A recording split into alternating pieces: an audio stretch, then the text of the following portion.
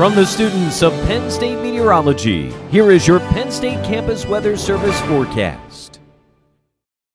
Good afternoon. I'm student meteorologist Kayla McCauley here with your exclusive Penn State Campus Weather Service forecast. As we take a look over Beaver Stadium right now, well, there's not much to see as it is raining, as it will continue to do as we move throughout our weekend. It is 34 right now, which is a huge change since we've been seeing 70s the last two days.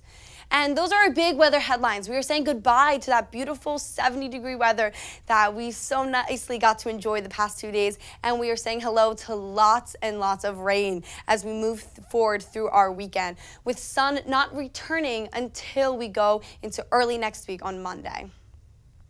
Our temperature change, though, as we take a look from the 70s to the 30s today, we've had a 34 degree temperature change here in State College just in the past 24 hours. As you can take a look in most of Pennsylvania, there are very similar changes with huge drastic differences as a cold front had moved through.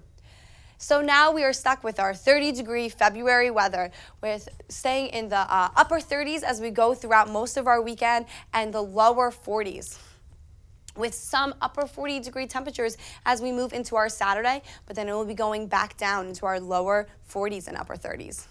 So this rain system mo moving through is covering most of the state and is going into New England and will be only followed by more rain. So that will be continuing throughout our weekend. As we take a look at today, it is 36, it is still raining, and we're having that cooling from that 70 degree weather. And as we take a look into our overnight hours tonight, we will continue those cold temperatures with temperatures around the lower 30s, around 32, and that rain will persist. Tomorrow, we will continue to see more rain as temperatures continue to stay cold. We could have chances of freezing rain, so be careful for that as you're going through your morning commutes. And as we take a look at our seven day forecast, we will continue to see these low 30s, uh, um, uh, low 40 degree weather as we go throughout our weekend with that rain and sun not coming back until Monday.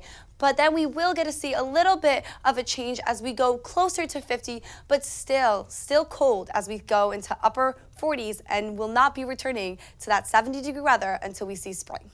From the Penn State Campus Weather Service, I'm Kayla McCauley. Have a good day.